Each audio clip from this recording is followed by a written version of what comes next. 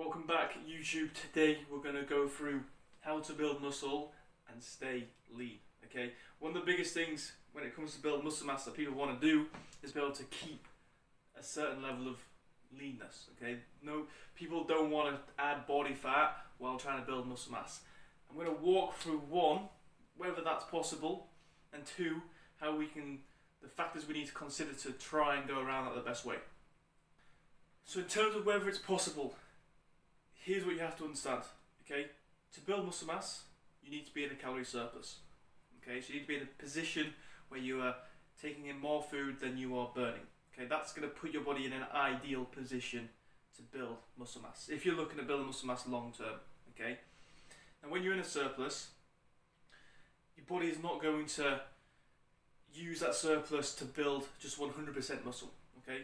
In fact, in the process of adding muscle mass and adding body fat, it's easier for your body to add body fat than it is muscle mass. So when you're in a surplus for a long, long period of time, you will accumulate body fat. However, if you're very lean at the beginning of your mass gaining phase, if you are careful about it, and we'll go over these two factors in a minute, and you're you keep the rate of body fat um, accumulation low, small, and then you stop your mass gaining phase when you're still relatively lean. You stop your mass gaining phase before you uh, let body fat accumulate to a position that you would like or don't want.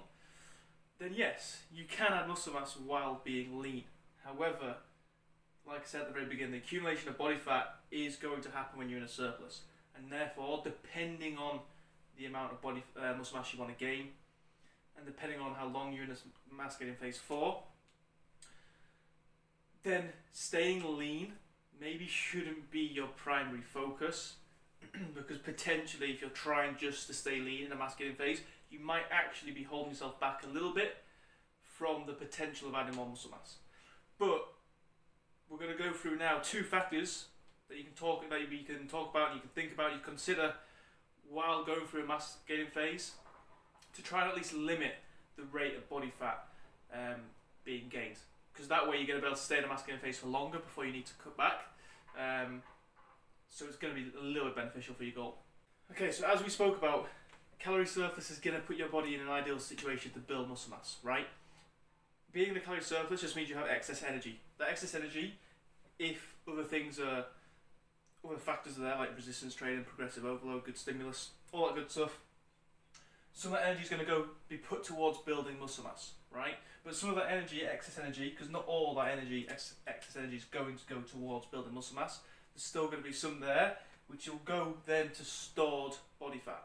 Okay, so that's where the excess energy from the calorie surplus is going to go. Some of it's going to go to muscle mass, some of it's going to go to body fat.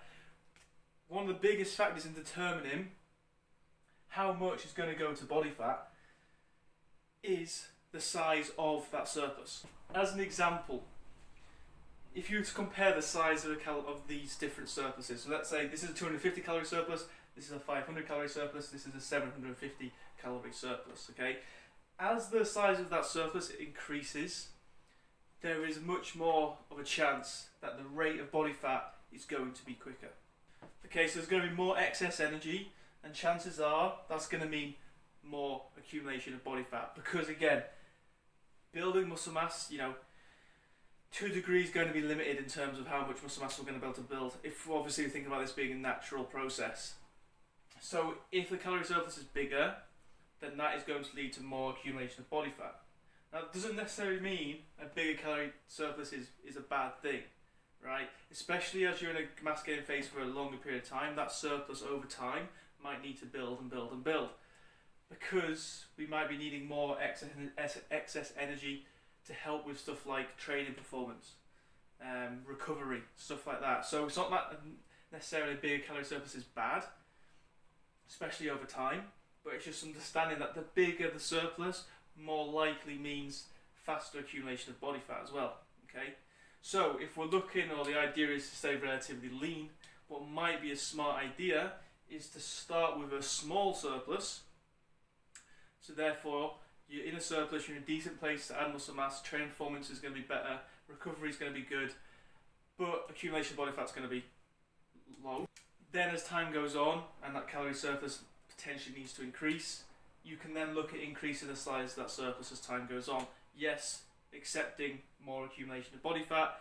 As I said at the very beginning of the video, that is part of being in a calorie surplus. It's part, part of the process, okay?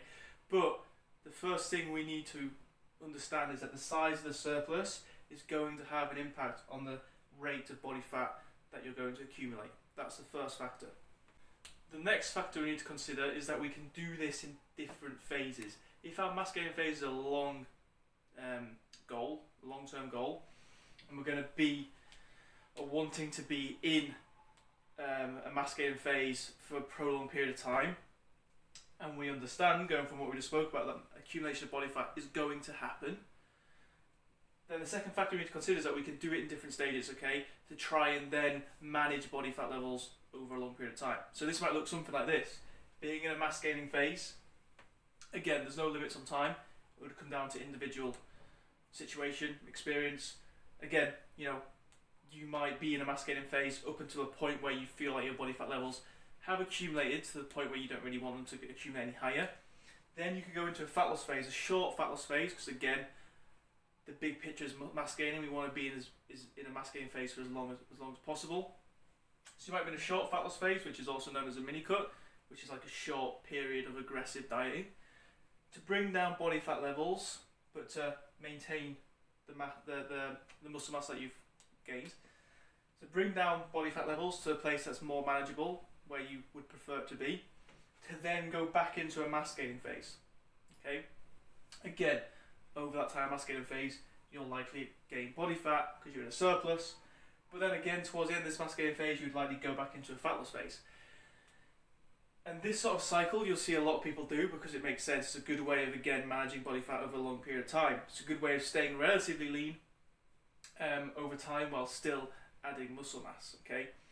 If we combine that one factor of the size of our surplus, being careful with that, and we combined the factor of having multiple phases within this big long-term goal, combine those two things, and that's going to be a great way to manage your body fat levels over time while you're trying to build muscle mass. Okay, but just remember, the accumulation of body fat is a natural thing when you're in a surplus. Okay, it's not something to necessarily try and hide from okay? Because when doing that and trying to limit body fat accumulation completely, you're probably just actually then limiting your chances of building muscle mass as well. Okay, you almost have to embrace it a little bit to a degree while you're in this this, this goal of trying to build muscle mass.